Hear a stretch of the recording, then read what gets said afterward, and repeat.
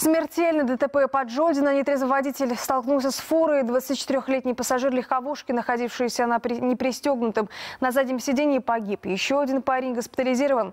26-летний водитель не пострадал. В его крови обнаружено 2 промилле алкоголя. Юноша в течение года привлекался к административной ответственности четыре раза. Водитель большегруза не пострадал. Возбуждено уголовное дело.